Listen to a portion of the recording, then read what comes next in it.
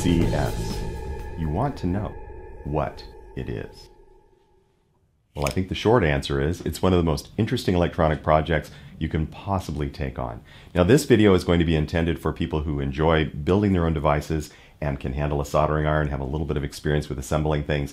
You actually can assemble your TDCS unit on a perf board that doesn't require any soldering. So just basically following setup instructions. Or at the end of the video, I want to make some kits available that are essentially assembled. You just add a couple of wires. So why would somebody want to connect electrodes to their forehead and the top of their head? Well, the short answer is this has been shown by an enormous body of evidence to do things like decrease depression, decrease anxiety. In my own experiments, just goofing around with this myself, I was the biggest skeptic in the world. And any friend, or if you've watched my other videos, you know I tend to be the biggest skeptic in the world. But this really has won me over. If, if nothing else, the claim that I want to make is that it does do something. And I think you'll agree if you get into experimenting with this. This is for informational purposes only. I know other people in the past who've offered this kind of information said that they were only offering the device as a plant growth stimulator. So I'll go ahead and I'll take the same approach and I'll tell you we're not giving any medical advice. This is just something for information purposes only. So what exactly is the unit? The unit is amazingly simple. You simply have to put a direct current of between 0.5 and 2 milliamps through a couple of saltwater electrodes and then identify an exact position on your head, your forehead, your temple, depending on the effect that you want to achieve. So the device that I'm using, I've come up with a little phone app, which is free for you to download. If you use what's called an on-the-go cable with your phone, you can even operate your TDCS device from the phone and it will get power from the cord.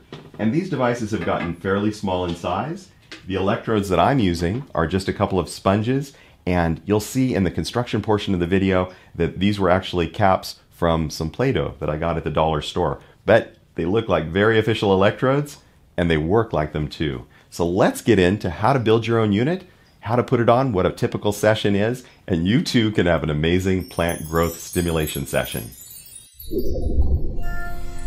Okay, making our electrodes is actually going to be a lot of fun. I don't think it matters what type of sponge you use. I happen to use UFO sponges from my favorite store, the $1 store. Just make sure if they're UFO sponges that they are made safely in China and are not from an actual alien spacecraft. Okay, here we see the sponge. I used a layered sponge so that I could just peel off one layer of the sponge and I could get the thickness I wanted. Again, all these dimensions are not particularly important, so you can probably go thicker, but I was emulating the commercial designs. So the commercial designs generally had a sponge that was about a quarter inch in depth and an inch and a half in diameter is ideal. Most of the major studies actually used larger electrodes than these, but the newer machines are coming out with smaller electrodes, presumably so you get a little bit more precise placement, and I've never had a trouble as long as it's at least an inch and a half. So in order to attach a uh, wire to your electrode, uh, what I did is I came up with a very simple plan. Because you're using salt water, you don't want the connection to your electrode to corrode. So you can buy wire glue. Wire glue is simply graphite mixed with a little bit of glue so that it's conductive, but graphite being carbon essentially is rust proof for the most part, so you can have these electrodes last a very, very long time. In order to connect it up, I just took the end of a wire and I scraped off uh, the insulation. I put it on top of my future saltwater electrode and took a washer. If you want to be slick, you could use a brass washer. You could even solder to a brass washer if you wanted.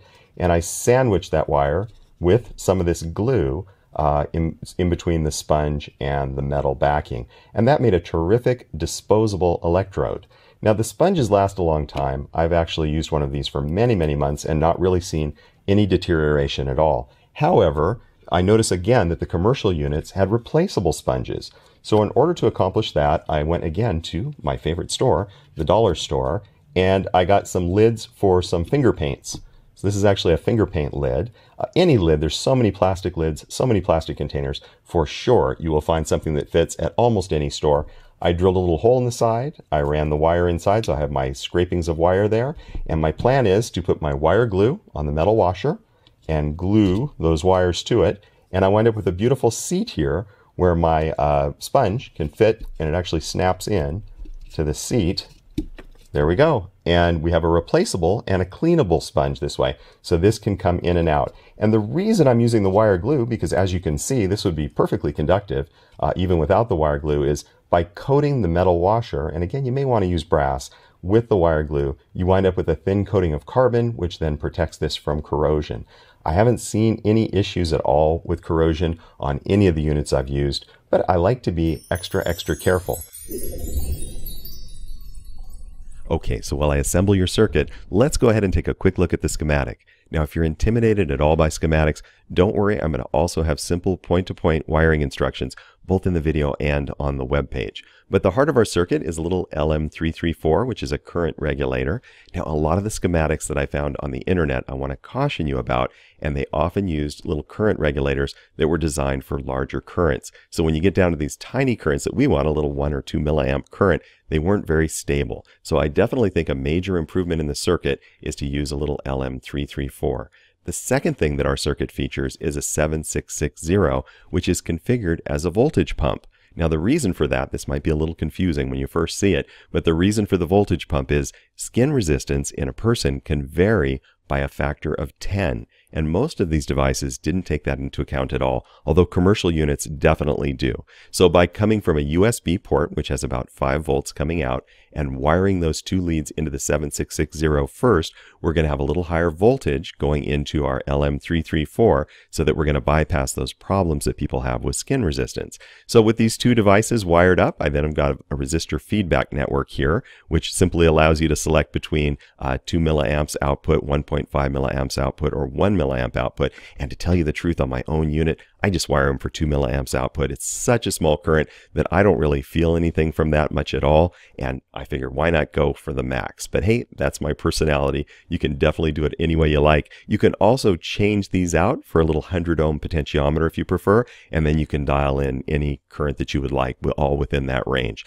Just make sure to leave that 470 ohm resistor here because that makes sure you don't exceed the range that you'd want to exceed. So if assembling this is any challenge to you, remember I'm going to make some kits available. And I think all the kits are going to require is that you connect your two wires here to the output, to the anode and the cathode. But that is our basic schematic.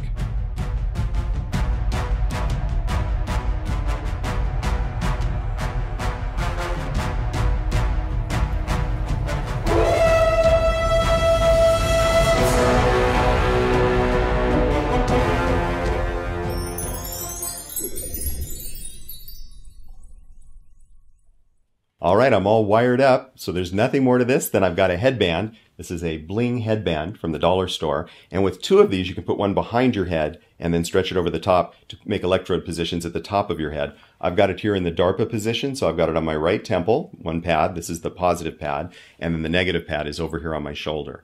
Each of these pads was soaked with a little bit of a saltwater solution.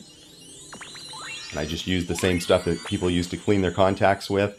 Because you'll be likely to clean these pads after every use, ordinarily the water would evaporate and the salt concentration would increase. But as long as you wash your pads fairly regularly and then reapply some of this contact lens cleaner solution, uh, you should be just the right pH most of the time for good conduction. And you can actually tell when it's not a good contact. So I've got my smartphone here. I've got a little on-the-go cable. The on-the-go cable will allow you to power your device as well as to monitor your device from the phone. And we'll simply take that USB connection and we'll plug it into the USB here on the on-the-go cable.